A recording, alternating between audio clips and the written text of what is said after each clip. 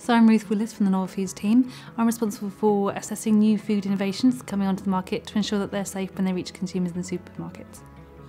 I look at um, new foods, so I work with a range of scientists to look at the different food safety risks that new foods pose.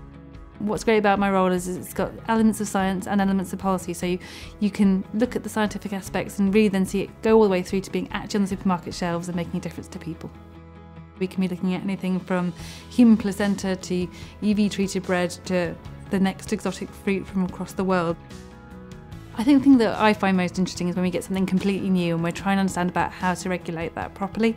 Um, so finding out how it fits within the wider frameworks and um, making sure the fact that it's safe for consumers.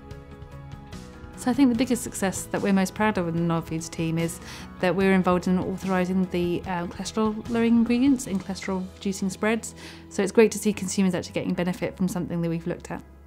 Everybody at the Food Standards Agency is just really proud and interested in food, so it's always exciting, it's never dull, and there's always something new coming along to, to get you involved in, which just makes it a great place to work.